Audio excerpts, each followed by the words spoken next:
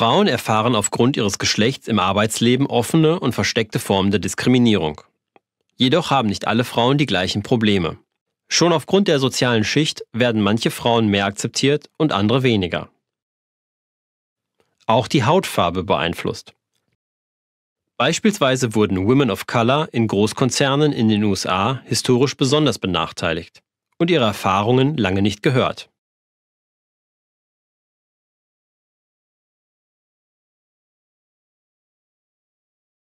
Der Begriff Intersektionalität beschreibt, wie verschiedene Diskriminierungsformen zusammenwirken. Etwa Geschlecht und Race oder klassenspezifische Zugehörigkeit. Außerdem können weitere Faktoren wie etwa Körper, Gesundheit, Alter, Kultur, sexuelle Orientierung oder Religion für verschiedenste Individuen aller Geschlechter eine Mehrfachdiskriminierung entstehen lassen. Die Auswirkungen Personen werden wirtschaftlich und gesellschaftlich entmachtet. Einzelne Aspekte addieren sich nicht nur. So kann eine schwarze Frau in einer Führungsposition ganz spezielle Unterdrückungserfahrungen machen, die weder eine weiße Chefin treffen, noch eine Frau, die nicht in einer gut bezahlten Position ist.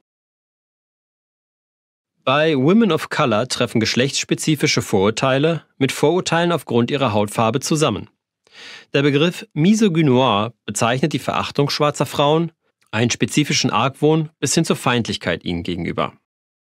Bei schwarzen Frauen wird beispielsweise männlich konnotiertes Führungsgehabe noch weniger geduldet als bei weißen Frauen. Transmisogynoir beschreibt die Unterdrückung schwarzer Transfrauen. Generell ist es für Menschen in Führungspositionen schwierig, denn wer an Führung denkt, denkt häufig an einen Mann weiß, heterosexuell und nicht behindert. Das benachteiligt Frauen, People of Color, Menschen mit körperlichen und geistigen Einschränkungen und viele andere. Abhängig von intersektionalen Benachteiligungen schnappen beispielsweise rassistische Klischees zu. Etwa müssen sich viele stark auftretende schwarze Frauen gegen den Begriff Angry Black Woman zur Wehr setzen. Frauen dürfen auch im Job kaum wütend sein, sonst werden sie als emotional, schwierig und unprofessionell stigmatisiert. Wut ist eine als männlich angesehene Emotion.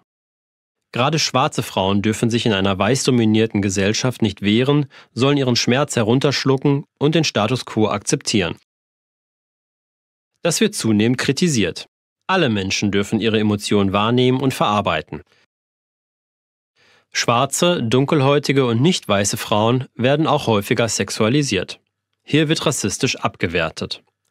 Der weiße Blick zusätzlich zum männlichen Blick unterzieht Nicht-Weiße einer besonderen körperlichen Prüfung und Kontrolle.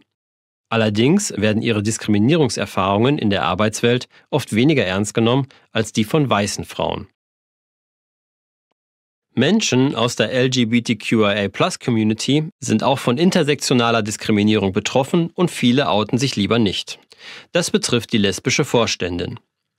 Sie arbeitet nicht nur als Frau auf einer männlich dominierten Stufe, sondern ihre Sexualität wird, anders als bei heterosexuellen Frauen, noch einmal besonders hervorgehoben, bewertet und kommentiert. Asiatische Frauen in westlichen Ländern treffen beispielsweise auf die Bamboo Ceiling. Dieses Bild beschreibt die besondere unsichtbare Barriere oder gläserne Decke, die Angehörige dieser Gruppe nicht in Führungspositionen aufsteigen lässt. Asiatische Frauen werden zwar als ehrgeizig, hart arbeitend und gut ausgebildet stereotypisiert, werden aber sexualisiert und infantilisiert. Sie gelten dann als gute Follower, nicht aber als Leader. Eine in Deutschland arbeitende Frau mit türkischem Hintergrund kann intersektional durch das Patriarchat und rassistische Strukturen in der Dominanzgesellschaft betroffen sein.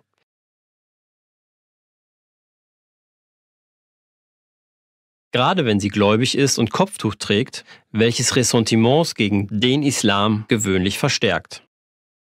Zudem kann sie innerhalb der türkischen Community von weiteren Anfeindungen und Ausschluss betroffen sein, wenn sie auffällig modisch gekleidet ist und sich schminkt und sich gegen frauenverachtend ausgelegte heilige Schriften stellt. Wenn sie dann gar noch sexuell auftritt, rappt und im Bereich der Wissensarbeit an einer Uni arbeitet, ist die Ausgrenzung von allen Seiten ausgesetzt.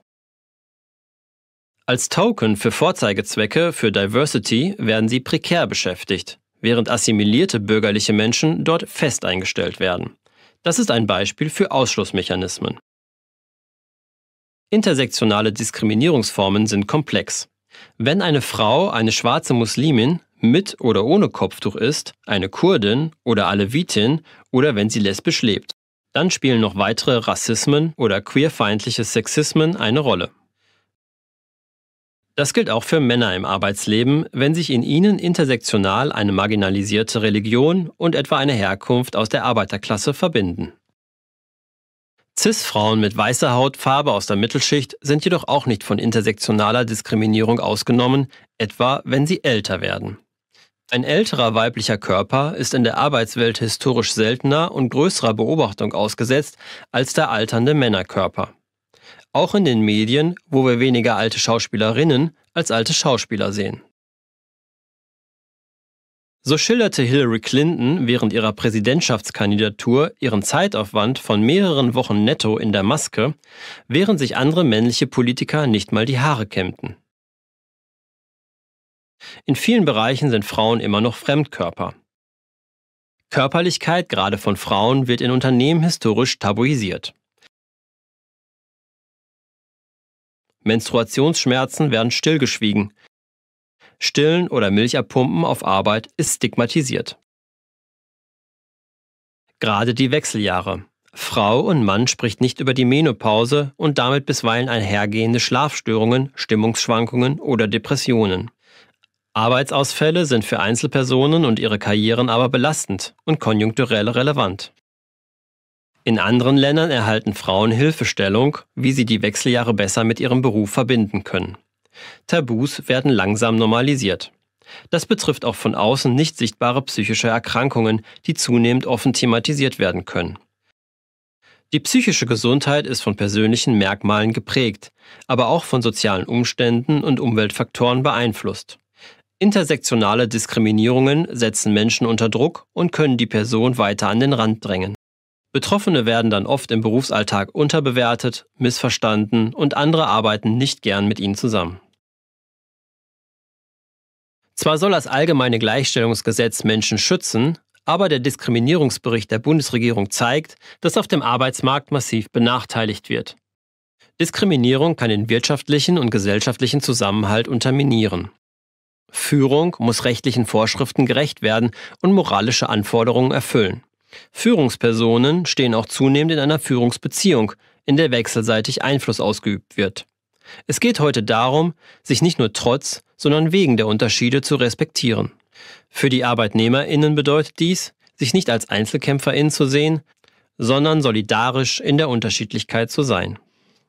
Es lohnt sich, füreinander einzutreten, sich und andere zu empowern. Dazu gehört das Verständnis von besonderen mehrfachen Diskriminierungserfahrungen und dass Einzelne sich ihrer Privilegien bewusst werden.